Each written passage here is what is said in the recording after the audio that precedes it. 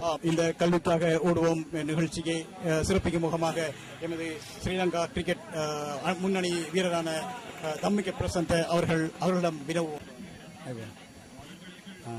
මම ඇතට මේ සහභාගි වුණ මං හිතන්නේ මම හිතන්නේ මෙච්චර හොඳට අ, මේගොල්ලෝ මේක ඕගනයිස් කරලා ඇති කියලා.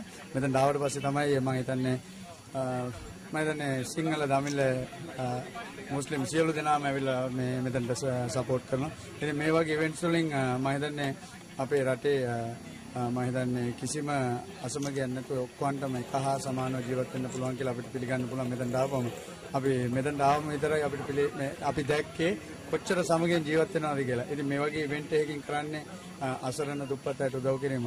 ඉතින් මම හිතන්නේ අ, සමාජයේ අ, යම් කිසි තැනක ඉන්න මම හිතන්නේ හැමෝටම මෙතනට ඇවිල්ලා උදව් කරන්න පුළුවන් නම් මෙවැනි අ, දේවල් වලට මම හිතනවා ඒක තමයි වැදගත්ම දේ සහ මෙතනට ඇවිල්ලා බලන්න ඕන මොකද්ද මේ මෙතන වෙලා තියෙන වෙනස කියලා. ක්‍රිකට් අනි ඉවරයි. දිනුන් ෆෙර්නාන්ඩෝ අවරගලම් ඒ සම්බන්ධව කයට අවර ඉවරන කරත කියලා තිරුවිතර.